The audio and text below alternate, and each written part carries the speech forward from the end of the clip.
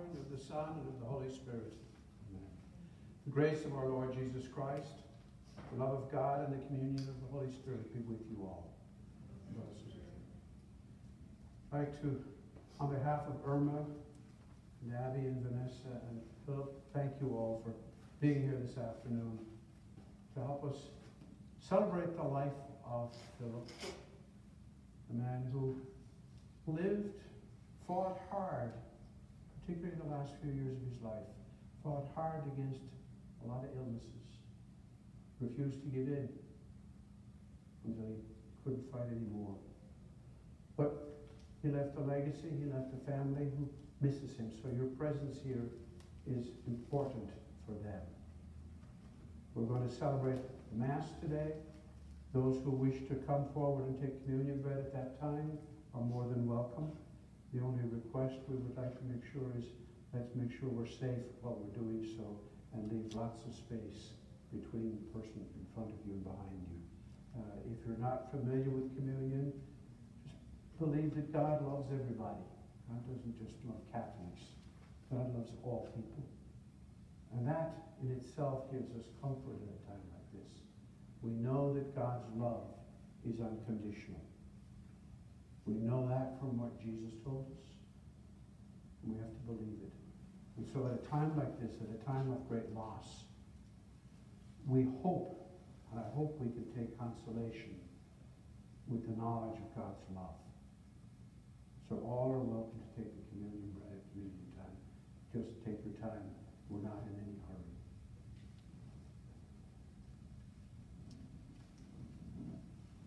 We begin blessing the body of Philip with holy water that recalls his baptism, of which St. Paul writes. All of us who were baptized into Christ Jesus were baptized into his death. By baptism into his death, we were buried together with him, so that just as Christ was raised from the dead by the glory of God the Father, we too might live a new life. For if we've been united with him by likeness to his death, so shall we be united with him by likeness to his resurrection. On the day of his baptism, Philip put on Christ. In the day of his coming, may he be clothed with his glory. God our Father has made Philip his adopted son through baptism. We believe that he has already entered eternal life. May God strengthen and comfort his family and friends and make us all long for the joys of heaven.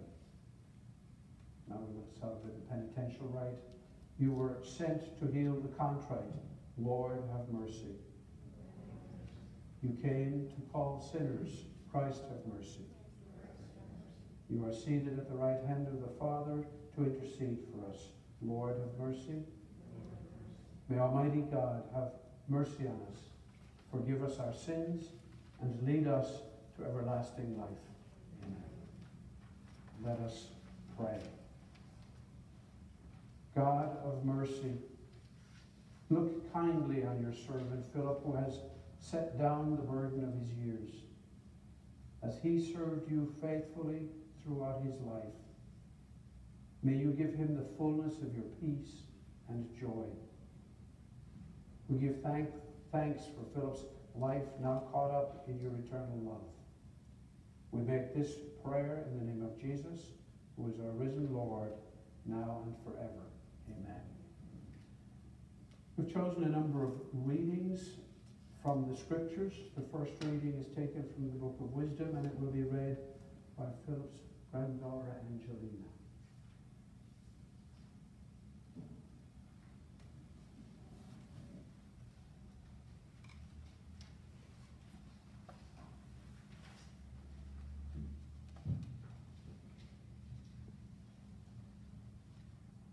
Um, the souls of the righteous are in the hand of God, and no torment shall touch them. They seemed, in the view of the foolish, to be dead, and their passing away was thought an affliction, and their going forth from us utter destruction. But they are in peace, for to others indeed they seem punished. It is their hope full of immortality. Chastised a little, they shall be greatly blessed, because God tried them and found them worthy of himself. As gold in the furnace, he proved them, and as sacrificial offerings, he took them to himself. In the time of their judgment, they shall, they shall shine and dart about as sparks through stubble. They shall judge nations and rule over peoples, and the Lord shall be their king forever. Those who trust in him shall understand truth, and the faithful shall abide with him in love. His grace and mercy are with his holy ones, and his care is with the elect. The word of the Lord. Thanks be to God. Thank you, Angelina. The responsorial psalm will be led by Julian.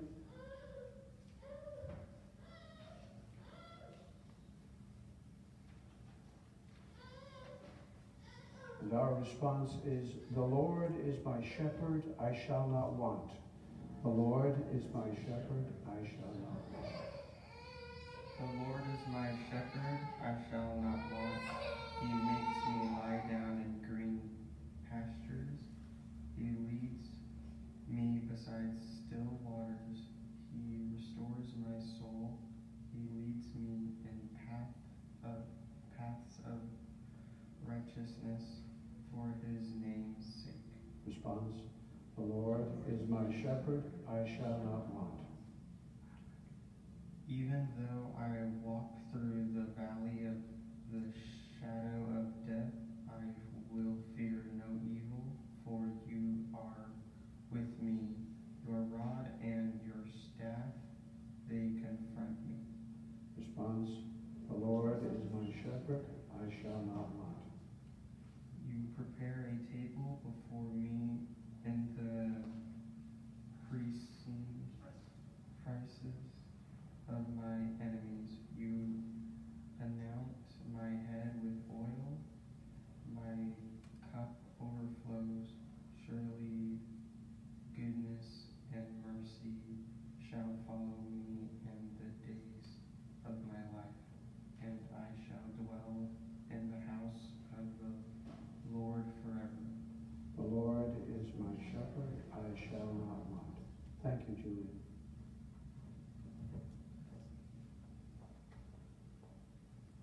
And Mia is going to proclaim the Gospels. Please stand.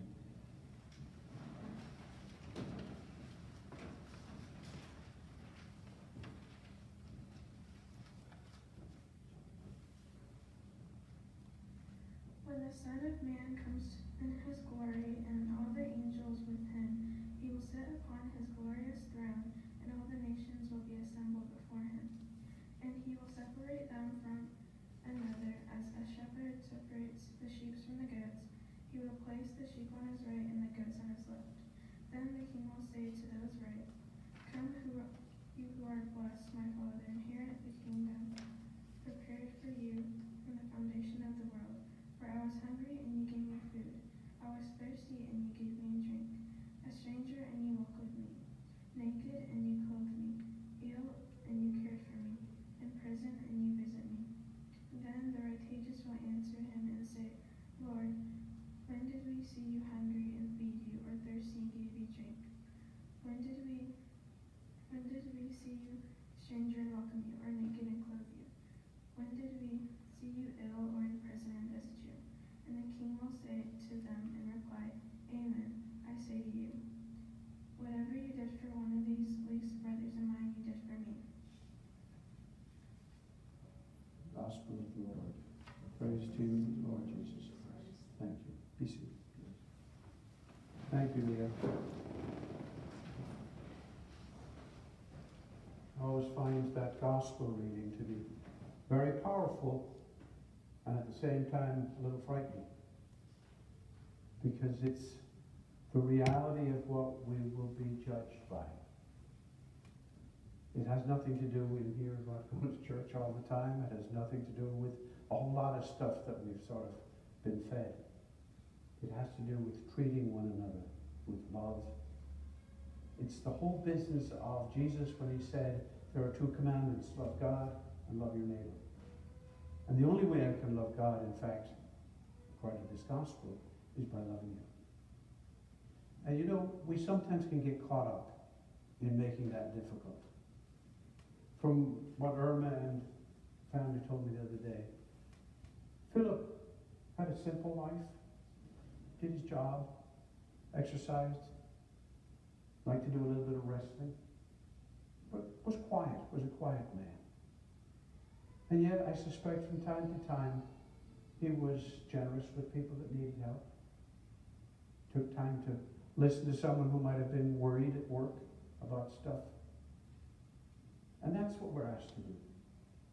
We're asked to acknowledge each other as humans, acknowledge each other as a presence really of God. And really just be nice to each other. It's not that complicated. Unfortunately, we tie ourselves up in knots with rules and regulations. But Jesus, in this gospel, tells us real simple. If someone's hungry, see if you've got a scrap of food for them. If someone's thirsty, offer them a drink. If someone's lonely, maybe lend them an ear. Be simple. If we can do that, then death does not become something frightening for us. Death becomes a time to be reunited with God, to be reunited with our parents, our grandparents, and all those who have gone before us. As I mentioned, I did not know Philip personally, but Abby and Vanessa are going to share a few words about their dad with us. So if you would like to come up, Abby, if you're ready. You okay with that? No? Okay. You just go up and use the mic. Thank you.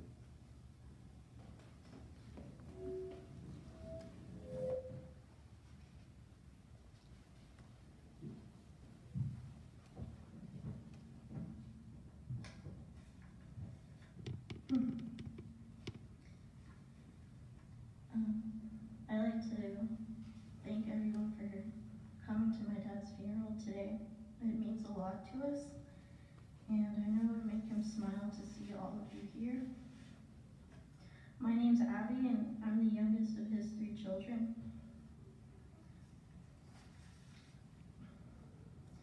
When I was a little girl, my dad and I used to play hide and seek all the time. Either he was really good at it, or I was just that bad. But I remember always crying when we played. I could never find him, and I would get frustrated. And after a while, that frustration would turn into fear. I got scared that I was alone and that I couldn't find him, and that's when the tears would start. He felt bad for me though. He'd throw me a bone and he'd start popping his knuckles just to let me know that he was still there. I'd follow the sounds and eventually I'd find his hiding spot and I would yell out, I found you. He'd pick me up and he'd tickle me until I couldn't breathe, and I always knew that I'd be a daddy's little girl. It's going to be really tough without you, Dad, but I think we'll be okay because you'd want us to be. You'd want us to be happy and to move on, to only think of fond memories we have of you. For those of you who don't know my dad, here are a few things that I'd like you to know about him.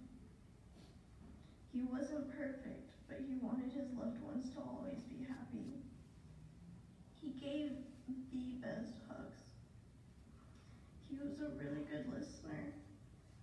Whenever I was mad at something or got frustrated, he would always lend an open ear.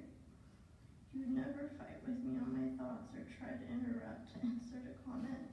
He just let me go on and on for as long as I would need to. And at the end, he would go, Do you feel better? And I'd laugh and I'd say, Yeah. He loved his family, and we loved him too. I hope that you're no longer in pain. I hope that you are in peace. We'll watch over each other and take care of each other so you don't have to worry. I'm so lucky that I got to call you Dad, and I'll cherish all of the memories we have together. I wish that we had more time together, but I know we'll see each other again someday. I love you and I miss you. Thank you for being you and for loving me unconditionally, and I hope that I've made you proud.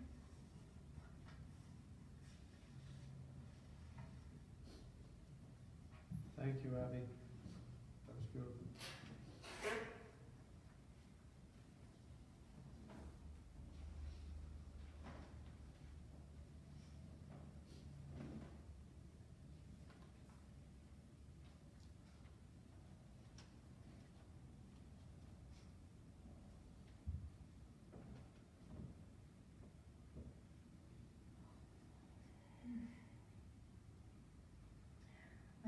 Vanessa, and I'm Philip's second child.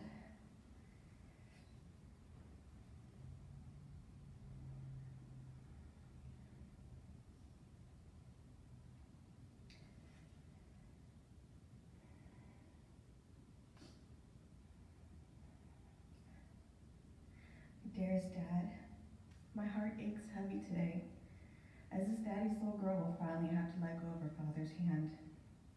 When I was younger, I remember I was constantly by her side. I would not want to go play, even when Grandma had those fun parties in her backyard, especially the one for the 4th of July, which I think most of the parties were thrown by you and my uncles.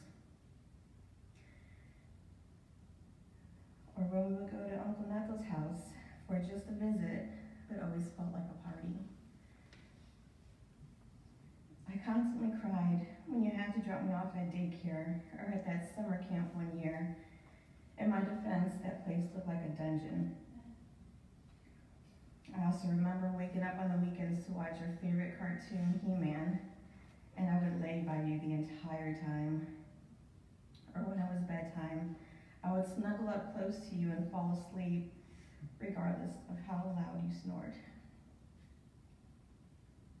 Or every time we'd go to the convenience store, Phil would want you to buy that packet of baseballs with gum, stick gum in it. And I would want you to buy some sort of candy for me. I'm sorry, that must have been annoying. But there's this father-daughter love that's hard to describe.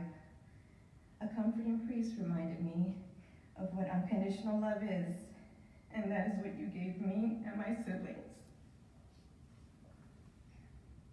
Regardless of our disagreements or even the distance we had when you moved to Texas, there was no one or thing that, be- that could come between us because your love was unconditional.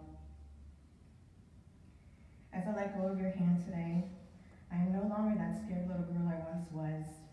You taught me to be brave, confident, and to work hard for what I want. School was extremely important to you, and you always pushed us and supported us pursue our degrees.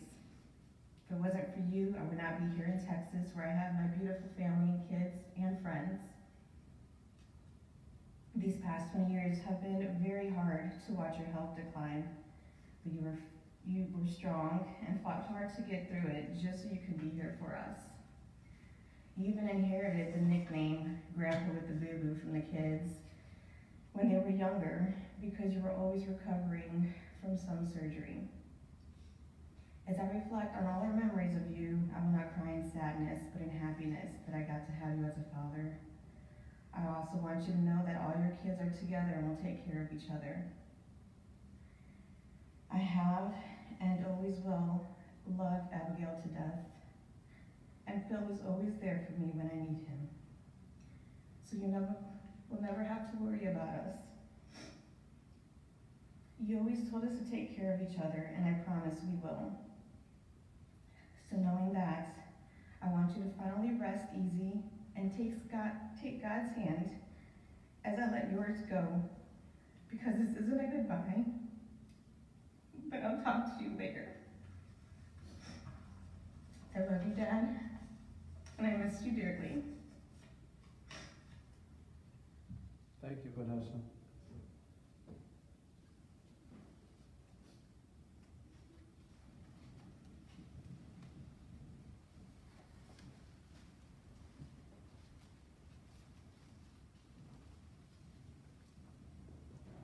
We continue with the prayers of the Master on the back of the first page, page two. of the book.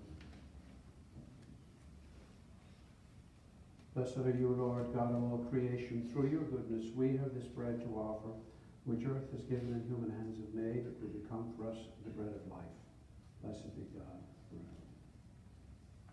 Blessed are you, Lord God of all creation. Through your goodness we have this wine to offer, fruit of the vine and work of human hands that will become our spiritual drink.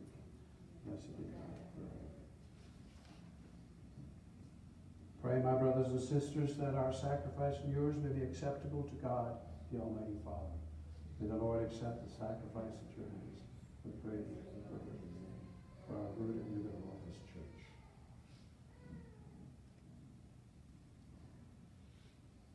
As we humbly present to you these sacrificial offerings, O Lord, for Philip, we beseech your mercy that he, who did not doubt your Son to be a loving Savior, may find in him a merciful Judge, who lives and reigns forever and ever. Amen. The Lord be with you. Lift up your hearts. Let us give thanks to the Lord our God. It is truly right and just, our duty and salvation, always and everywhere to give you thanks, Father most holy, through your beloved Son, Jesus Christ, your word, through whom you made all things, whom you sent as our Savior and Redeemer, incarnate by the Holy Spirit and born of the Virgin fulfilling your will and gaining for you a holy people, he stretched out his hands as he endured his passion, so as to break the bonds of death and manifest the resurrection.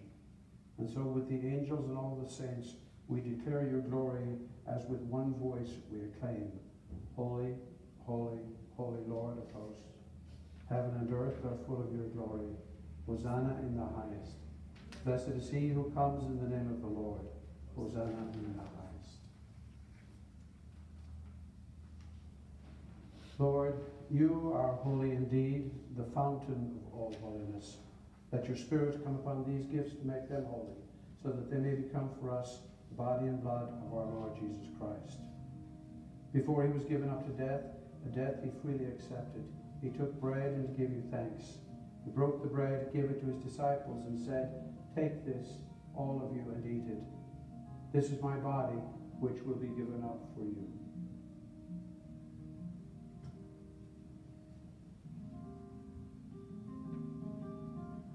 When supper was ended, he took the cup. Again, he gave you thanks and praise, gave the cup to his disciples, and said, Take this, all of you, and drink from it.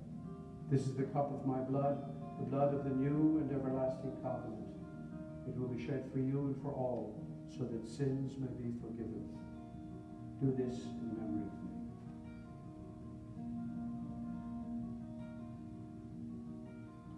Let us proclaim the mystery of faith. Christ has died, Christ is risen, Christ will come again. In memory of his resurrection and death, we offer you, Father, this life-giving bread and this saving cup. We thank you for counting us worthy to be in your presence and serve you. May all of us who share in the body and blood of Christ be brought together in unity by the Holy Spirit. Lord, remember your church throughout the world. Make us grow in love and compassion, together with the patriarchs of Alexandria, Antioch, Constantinople, Jerusalem, and. Remember our brothers and sisters who have gone to their rest in the hope of rising again. Bring them and all the departed into the light of your presence. Remember your servant Philip, whom you have called from this world to yourself. Grant that he who was united with your Son in a death like his, like his, may also be one with him in his resurrection. Have mercy on all of us. Make us worthy to share eternal life with Mary, the Virgin Mother of God, with the apostles and with all the saints who have done your will throughout the ages. May we praise you in union with them and give you glory through your Son, Jesus Christ. For it is through him, with him, and in him, in the unity of the Holy Spirit, all glory and honor is yours, Almighty Father, forever and ever. Amen. Please stand now as we celebrate and pray the Our Father. Our Father, who art in heaven, hallowed be thy name. Thy kingdom come, thy will be done, on earth as it is in heaven. Give us this day our daily bread, and forgive us our trespasses, as we forgive those who trespass against us. Lead us not into temptation, but deliver us from evil. Deliver us, Lord, we pray, from every evil, and graciously grant us peace in our day. In your mercy, keep us free from sin and protect us from all anxiety as we wait in joyful hope for the coming of our Savior, Jesus Christ. For the kingdom, the power, and the glory are yours, now and forever. Lord Jesus Christ, you said to your apostles, I leave you peace, my peace I give you.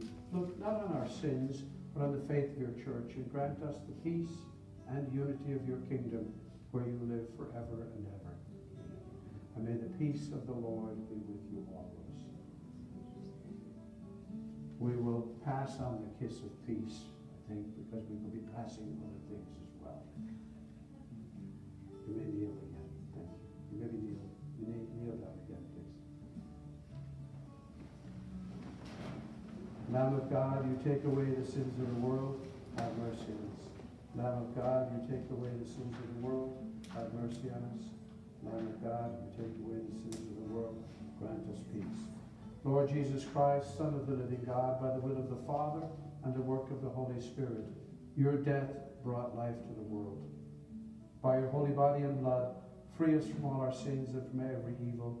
Keep us faithful to your teaching and never let us be parted from this is the Lamb of God who takes away the sins of the world. Happy are we called to this supper. Lord, I am not worthy that thou shouldst enter under my roof, but only say the word and my soul shall be healed. At this time, we will offer communion to whoever would like to receive it. If you'll come up to the center here and allow plenty of space, we'll, do, we'll start with the front row and work our way back if that's acceptable. And plenty of bread. Body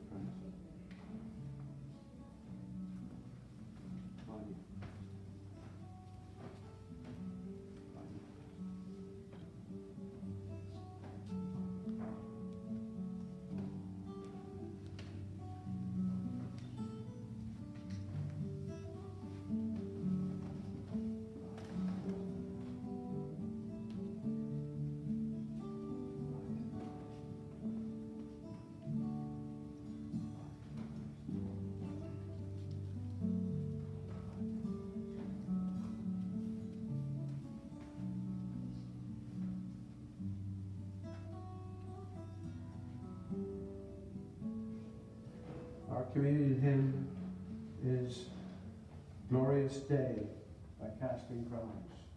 Listen to that as we meditate on God's love for us.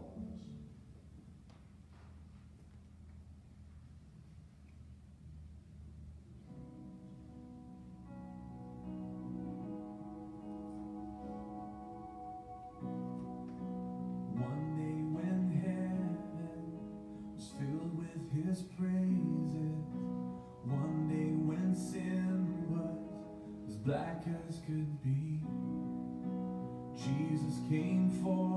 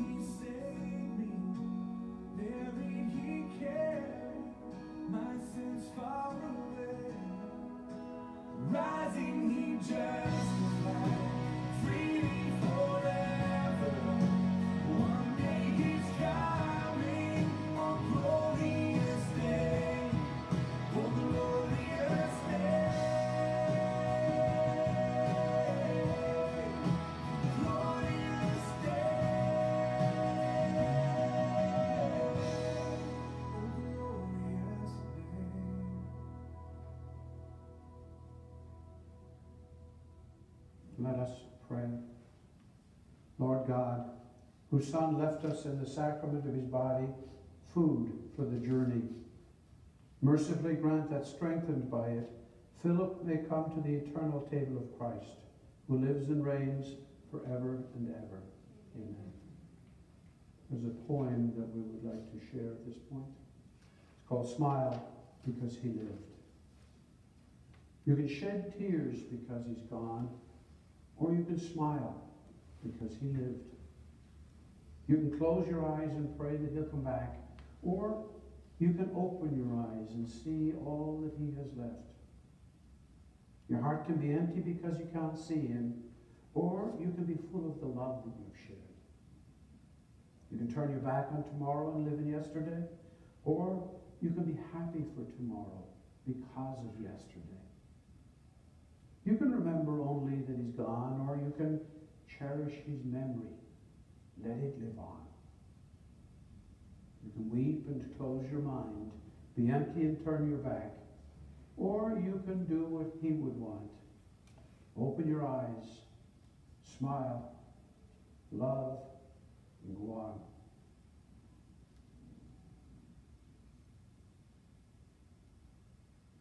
We thank you, Lord, for Philip, who was so near and dear to us and has now been taken from us. We thank you for the friendship that went out from him and the peace he brought. We thank you that through suffering he learned obedience and that he became a person others could love while he was with us here on earth. We pray that nothing of his life will be lost, but that will have been of benefit to the world that all that he held sacred may be respected by those who follow him, and that everything in which he was great may continue to mean much to us now that he's dead. We ask that he go on living through his wife Irma, his daughters Vanessa and Abby, and his son Philip, his mother Philippa, his grandchildren Angelina, Noel, Julian, Mia, and Jackson, and these brothers and sisters in their hearts and minds, their courage and conscience. We pray that they always hold close the memories and times they shared together. We ask that we who were associated with him may now, because of his death, be even more closely associated with each other, and that we may, in this togetherness and peace on earth, always be deeply conscious of your promise to be faithful to us in death. With faith in Jesus Christ, we now reverently bring the body of Philip to his final resting place. Let us pray with confidence to God, who gives life to all things, that he will raise up this mortal body to the perfection and the company of the saints. May God give Philip a merciful judgment and forgive all his sins.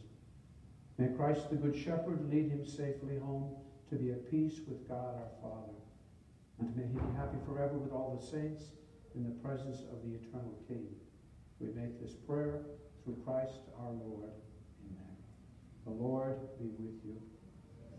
May Almighty God bless you, the Father, the Son, and the Holy Spirit. Our Mass is ended. Let us go forward in peace to love and serve the Lord. Thanks be to God. Our final music is on Eagle's Wings by Michael Talbot.